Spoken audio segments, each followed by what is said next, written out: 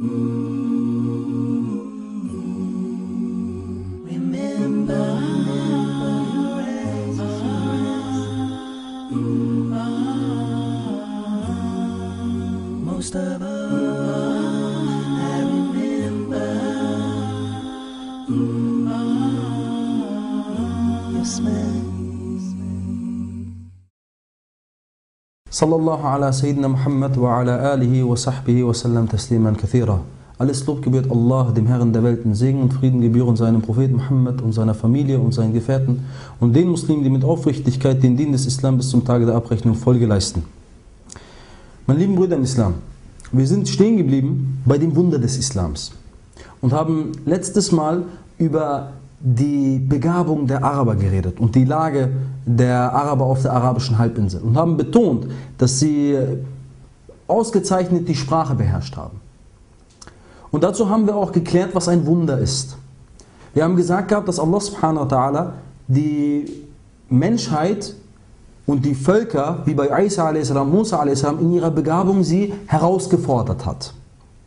Und dass ein Wunder dadurch, dadurch, dass sie natürliche Gesetze aufhebt, einzigartig und unnachahmbar ist. Und hier stellt sich dann die Frage, was ist das Wunder des Islams?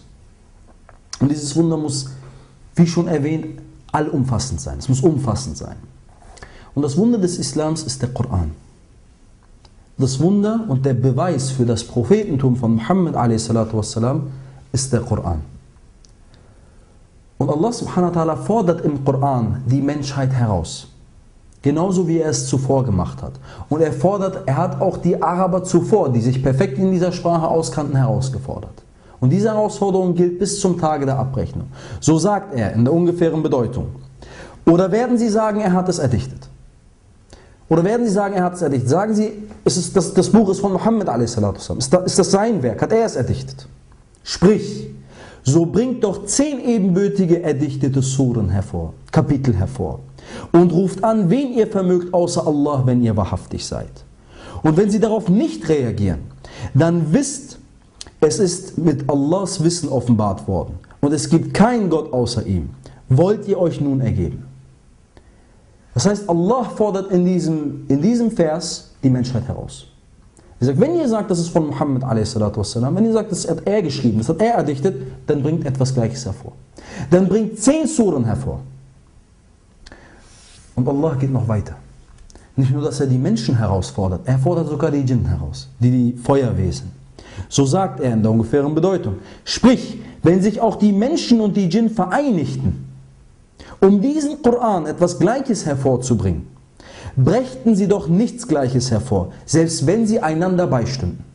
Selbst wenn Djinn und Menschen zusammenarbeiten würden, würden sie es nicht schaffen, etwas Ähnliches wie den Koran hervorzubringen. Das heißt, Allah fordert die Menschheit heraus, etwas Ähnliches wie den Koran in der Sprache hervorzubringen. Das bedeutet im Inhalt und im Stil. Denn Sprache besteht aus Inhalt und aus Stil. Das heißt, sie sollen etwas bringen, das genauso sinnhaft ist, das genauso präzise ist, das genauso tiefgründig ist. Das heißt, der Inhalt des Koran umfasst all diese Punkte. Und sie sollen gleichzeitig etwas bringen, was vom Stil her genauso gefühlsvoll ist, genauso intensiv ist, genauso beeinflussend ist bzw. bewegend ist wie der Koran. Und auf diese Punkte, auf diese Punkte werden wir in den nächsten Vorträgen noch näher eingehen. Was es bedeutet, dass der Inhalt des Koran präzise ist. Was es bedeutet, dass der Inhalt, der Stil des Koran bewegend ist und unnachahmbar ist. Auf diesen Punkt werden wir heute werden wir noch näher eingehen. Aber worauf wir hier den Vortrag heute beschränken wollen, ist diese Herausforderung. Meine lieben Geschwister, wir wissen als Fakt, wenn ein Mensch etwas, man möchte sagen, in einer Sache talentiert ist und etwas Gutes schafft, etwas Starkes schafft und wirklich einen Rekord bricht von mir aus, dann kommen trotzdem Menschen, die etwas Gleiches hervorbringen.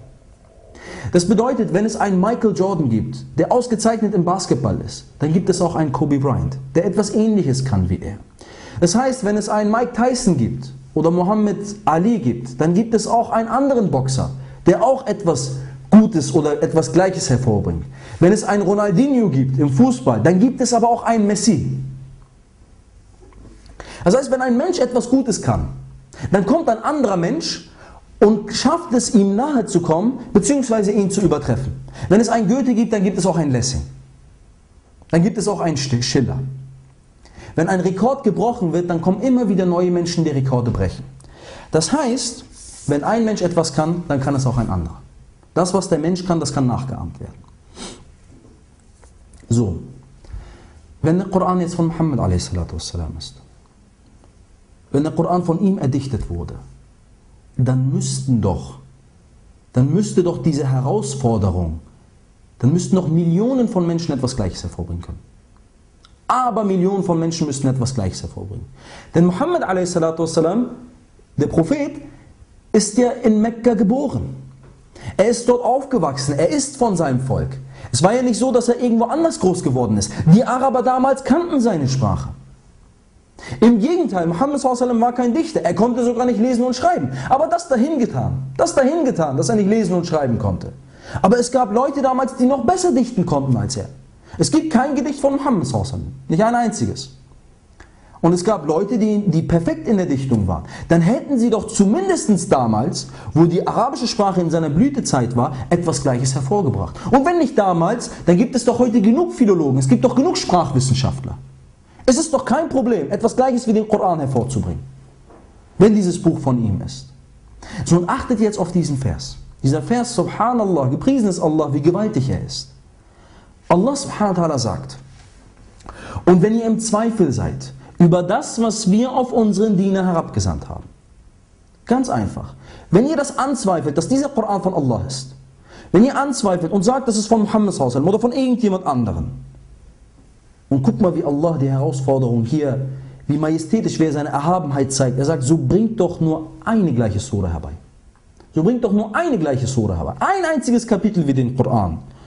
Und beruft euch auf eure Zeugen außer Allah. Ruft eure Zeugen zusammen, wenn ihr wahrhaftig seid. Wenn ihr wahrhaftig seid. Und achtet jetzt auf den Wortlaut. Allah sagt in der ungefähren Bedeutung, und wenn ihr es nicht schafft, und wenn ihr es nicht schafft, und ihr werdet es niemals schaffen, so fürchtet ein Feuer, dessen Brennstoff Menschen und Steine sind, vorbereitet für die Ungläubigen. So, dieses Buch ist von Muhammad sallam. Dann müsste ja Muhammad sallam hier gesagt haben, das ist mein Buch, das ist das beste Buch, was es jemals gab. Wenn ihr im Zweifel darüber seid, dass das von Gott kommt, so bringt doch nur etwas Gleiches hervor. Aber ihr schafft das sowieso nicht. Diese Eier, sie strotzt nur vor Souveränität vor Provokation. Das ist wie wenn ein Fußballer kommen würde und sagen würde, ich bin der beste Fußballer der Welt, kommt wer will. Egal wer will, ich trete gegen jeder an, keiner kann es mir gleich tun. Und dann noch zu sagen, aber ihr schafft das sowieso nicht. Subhanallah. Das zeigt die Gewaltigkeit Allahs. Und das zeigt, wie er auch hier wieder mit den Menschen, wenn man so will, wie er mit ihnen umgeht. Genauso wie bei Musa a.s. Ihr könnt die Zauberei, Bitteschön, ich gebe euch ein, ein, ein Wunder, das eure Tricks aufisst. Ihr kennt euch in der Heilkunde aus bei Isa a.s. Hier, Isa a.s. erweckt euch die Toten mit Allahs Hilfe. Und hier auch, ihr kennt die Sprache, ihr Araber kennt die Sprache, hier ist der Koran. So bringt doch nur eine Sura heran. Eine Sura. Was ist eine Sura? Eine Sura, das ist, das ist eine halbe Seite, nicht mal. Die kleinsten, die kürzeren Suren des Koran. Das heißt, wir sehen hier, dass diese Herausforderung allgemeingültig ist und diese Herausforderung besteht heute noch. Diese Herausforderung ist bis Yawm al-Qiyamah. Jeder Mensch, der den Koran anzweifelt, ist aufgefordert, etwas Ähnliches hervorzubringen. So, und hier kann jemand nicht sagen, hier kann jemand nicht sagen, ich kann die arabische Sprache nicht. Deswegen kann ich das nicht nachvollziehen. Dieses Argument ist nicht gültig. Weil man muss nicht die arabische Sprache können, Wobei wir auch noch, wie ich gesagt habe, näher auf das Wunder eingehen werden. Man muss nicht die, Arab die arabische Sprache kennen, um zu erkennen, dass es sich dabei um ein Wunder handelt. Denn auch bei Musa a.s., nicht jeder im Volk konnte zaubern. Das waren ja nicht alles Zauberer, das gesamte Volk, aber es gab viele von den Zauberern. Die Zauberer haben aber erkannt, dass Musa a.s., dass er nicht trickst. Und die Leute haben gesehen, dass die Zauberer es nicht geschafft haben, eine, einen, den, den Stock von Musa a.s., diese Riesenschlange zu bezwingen. Und genauso auch heute. Es ist einfach in der Realität so und es ist feststehend, dass der Koran eine absolute Sprache besitzt. Das heißt, meine lieben Geschwister, Man muss, nicht, man muss nicht Englisch können. Man muss nicht Englisch können, um zu verstehen, dass Shakespeare ein großer Autor ist. Viele von uns haben die Werke von Shakespeare nicht gelesen, aber keiner zweifelt an, dass Shakespeare ein großer Autor ist. Ohne, sein, äh, ohne die englische Sprache zu können. Und so ist es auch im Koran, weil es eben in der Realität so vorhanden ist. Man kann hier auch das Beispiel eines Fußballspiels geben. Jeder erkennt in einem Fußballspiel, auch der Laie, wer gewonnen hat. Aber nicht jeder kann das Fußballspiel analysieren. Die Fachmänner, sie können das Fußballspiel analysieren. Ja? Aber trotzdem kann jeder erkennen und sagen, wer am Ende gewonnen und wer am Ende verloren hat. Und so ist es auch mit dem Koran. Es ist eine Realität und es ist ein Fakt und diese Herausforderung gilt. Das heißt, wenn ihr nicht Arabisch könnt, dann bringt es zu den Leuten, die Arabisch können. Geht zu ihnen und fragt die Philologen, fragt, fragt die Meister, fragt die Zauberer von der heutigen Zeit ob es sich dabei um ein Wunder handelt oder nicht. Also das ist eine Ausrede. Zu sagen, ich kann kein Arabisch, deswegen ist es nicht so. Das Wunder besteht darin, dass hier ein Buch die gesamte Menschheit herausfordert. Etwas Ähnliches hervorzubringen in der Sprache vom Inhalt und Stil. Und dazu ist der Mensch, das hat der Mensch immer noch nicht geschafft. Und das wird der Mensch auch bis Yawm al-Qiyamah nicht schaffen. Deswegen ist dieses Wunder auch das geeignetste Wunder oder das geeignete Wunder für den letzten Propheten. Für den Propheten Muhammad a.s. Denn es ist zeitlich unabhängig. Es ist eine Herausforderung, die bis zum Tage der Abrechnung gilt. Es ist eine Herausforderung, die bis die Welt erloschen wird, bis die Welt vernichtet wird, immer noch gilt. Und genauso auch heute. Wenn jemand heute den Koran anzweifelt, dann hat er die Möglichkeit, etwas Gleiches hervorzubringen. Ansonsten muss er sich unterwerfen. Ansonsten muss er sich unterwerfen und akzeptieren, dass das die Wahrheit ist.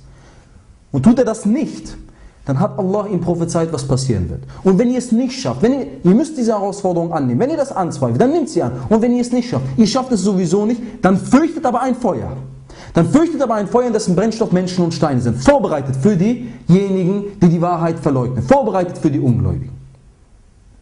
Das ist der Punkt. Und wie wir erwähnt haben, so Allah will, werden wir in den nächsten Vorträgen Beispiele für die Präzision des Koran geben, Beispiele für die Schönheit des Koran geben, sodass jeder von uns auch nachvollziehen kann und erkennen kann, auch derjenige, der nicht der arabischen Sprache mächtig ist, wo, um was für ein Werk es sich eigentlich bei diesem Buch handelt.